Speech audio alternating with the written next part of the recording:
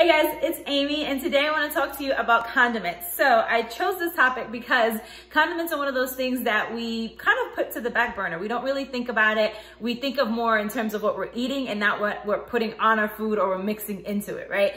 But when you look at all these ingredients like ketchups and dressings and sauces, a lot of them have hidden hidden stuff in them that we didn't even know. So I want to show you some of the things that we have in our house and how we've elevated these condiments so that we don't have to cut them out, but I'm not getting all the junk in them. So first and foremost, we're going to use probably the most po popular condiment, ketchup. So ketchup is one of those things that most of them have high fructose corn syrup. So the, the brands that we all grew up loving have high fructose corn syrup. Nowadays, those brands are making ones with organic sugar or just replacing the, uh, the corn syrup with sugar. And that's what you wanna look for.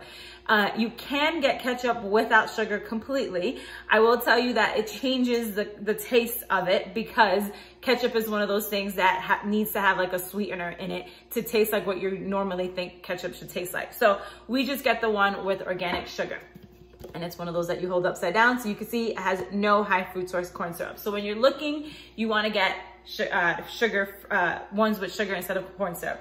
Also, I most of our stuff in our house is organic. I'm not saying you have to do that, but uh, tomatoes are on the dirty dozen list. So for me, ketchup is super important to get organic, especially if it's something that um, I'm using. I don't use it every day, but if I'm using it in my house, it's definitely something that I like to have uh, organic. Okay, sriracha is also something that while it's amazing, sriracha is one of those things that when you're eating like what you consider like a plain meal, right? You just throw some sriracha on it, it gives it some spice, but look at the back of your sriracha. Does it have high fructose corn syrup? Because it's also one of those uh, condiments that it needs some kind of sweetener, right? To taste like what we think it should taste like. So I get one, this one has agave in it. So instead of using high fructose corn syrup, this one uses agave. You can find them which, with uh, sugar as well. That's gonna be better than high fructose corn syrup.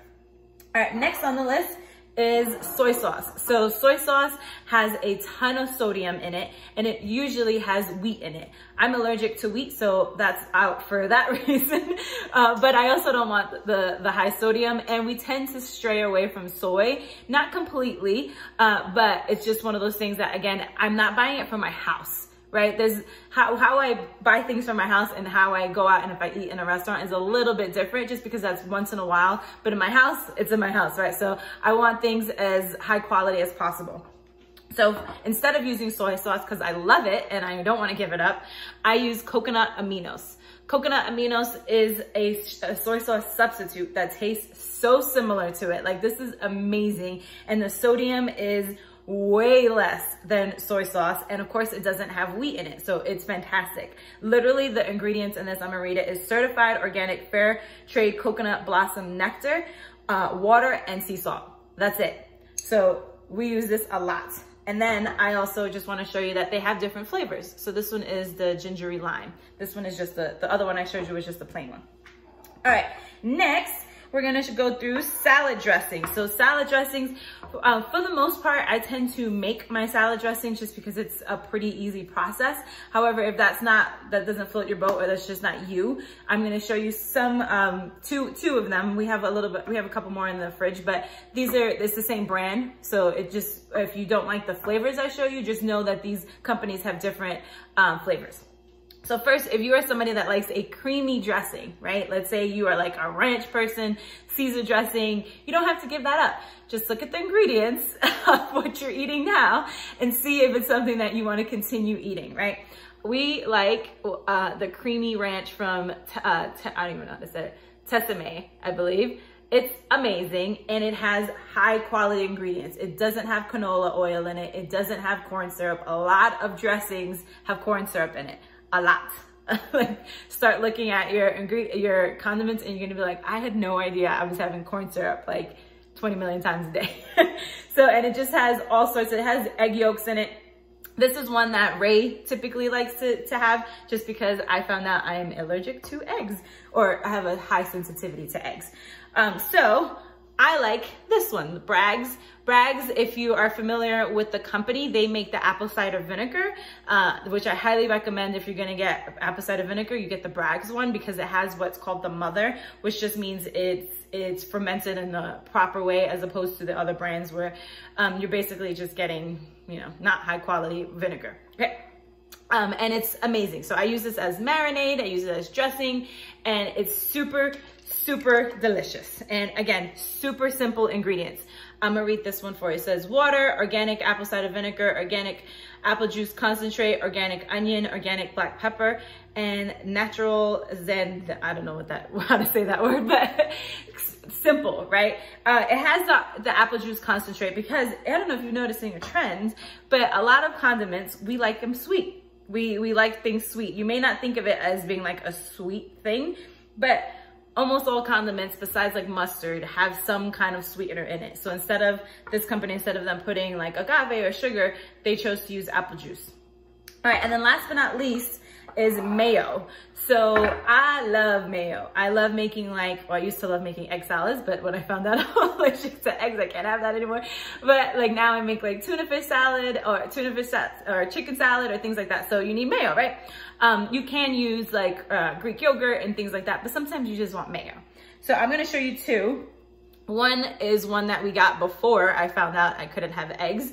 So this is Primal Kitchen. I actually got this on Thrive Market. I believe they still, they sell it at Whole Foods and Costco. But um, again, I'm gonna read you the ingredients so you can see, super simple. Avocado oil, organic eggs, organic egg yolks, organic vinegar, sea salt, and organic rosemary extract. That's it.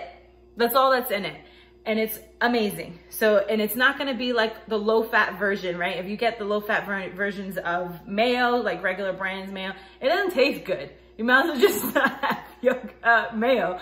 So try this instead. This doesn't mean have mayo on everything and have it 20 million times a day. It just means if you're gonna have it, have an elevated version so that it actually tastes good and you don't feel like you're missing out.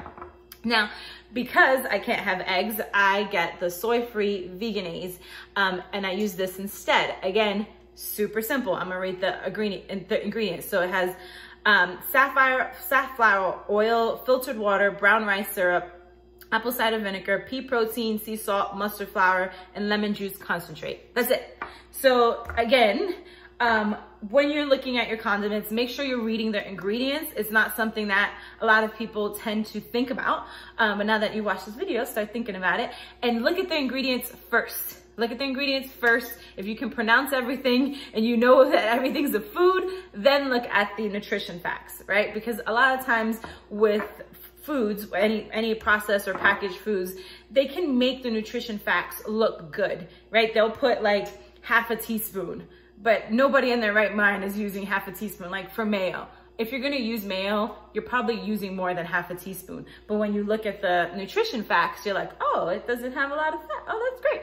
But then, but then you look, you're like, what am I doing with a half a teaspoon? Nothing, right? So just pay attention to that. You'll start noticing that the, the sometimes on healthy foods or things that are marketed as like low sugar or low fat or diet, blah, blah, you'll look at the nutrition facts and you're gonna be like, ain't nobody eating just that little amount, right?